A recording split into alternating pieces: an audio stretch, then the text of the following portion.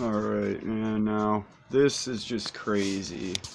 I'm waiting for it to stop sprinkling to try and get some sorting in, but I just wanted to tell you, dude. Alright, the other day, not two days ago, literally 48 hours ago, it was zero degrees with a negative 24 wind chill. It is 42 degrees now. It is raining out. Like, we have destroyed this planet. Like, just a small change in weather since I was a kid, man. This is insane.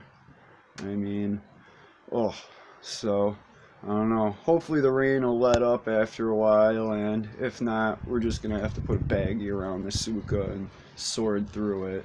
But I just wanted to share with you the uh, crazy weather in my local area. It's like Mother Nature took a bunch of acid and never came back or something. I don't know, man. It's crazy. Glad I don't have kids. Thanks for watching. Have a good one.